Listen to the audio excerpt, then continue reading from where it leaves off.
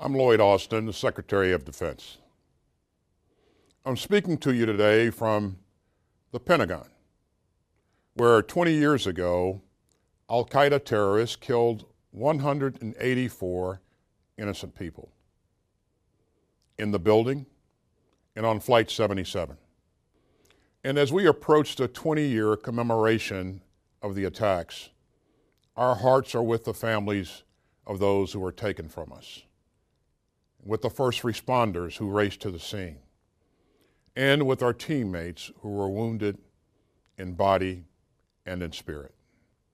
So, on behalf of the Department of Defense, let me renew our deepest condolences to the families and loved ones of all those that we lost on 9 11, on the hijacked planes, here at the Pentagon, in New York City, and in Shanksville, Pennsylvania.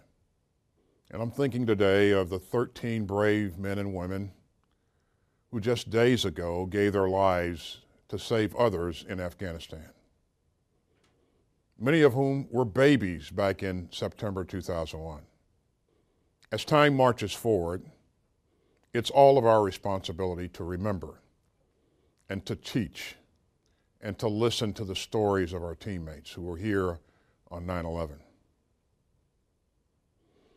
Now, we can't know what challenges the next 20 years will bring, but we do know that America will always lead.